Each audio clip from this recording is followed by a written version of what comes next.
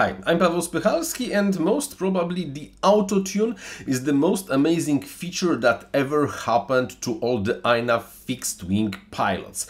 Why? Because with the auto-tune you do not really have to worry about manually tuning your PID or PIDFF or PIFF controller that handles the stabilization of your airplane, fixed wing, flying wing, whatever.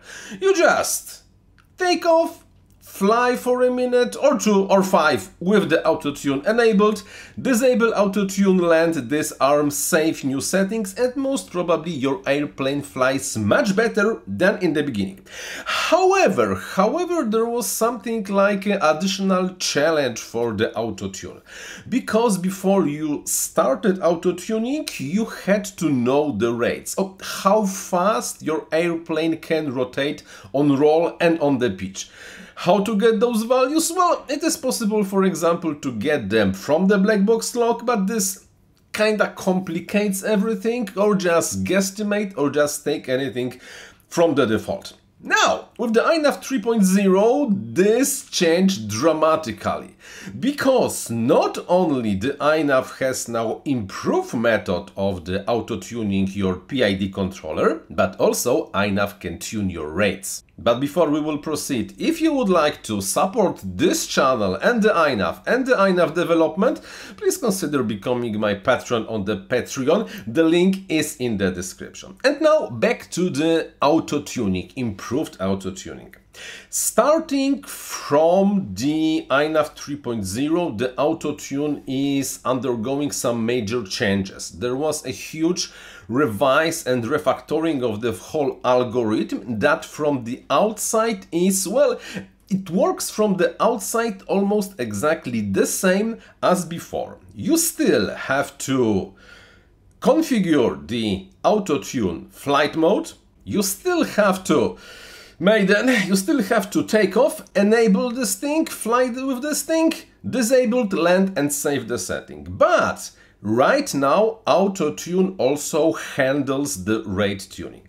How it works? Every time you deflect your stick, auto-tune checks of what is the response of your airplane if there is still a room to rotate slightly faster or slightly slower. For example, if it feels that there is a potential to even increase the rotation speed when you deflect the stick, next time it will run the next iteration of check, it will slightly increase the rates. If however it detects that your airplane is lagging behind, not able to go as fast as you want, next time it will try to rotate slightly, slightly, slightly slower.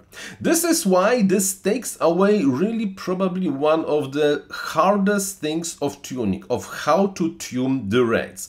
Right now, by default, the rates will be tuned, the P, I and feed forward gains will be tuned and as a result you will just have a much better flying airplane. So, should you retune your tunes with the INAV 3.0 and improved auto-tune? Yes, definitely yes if not only to have the better PID values, but to have better tuned rates. Because rates are kinda important. You cannot demand more from your airframe than the airframe can offer.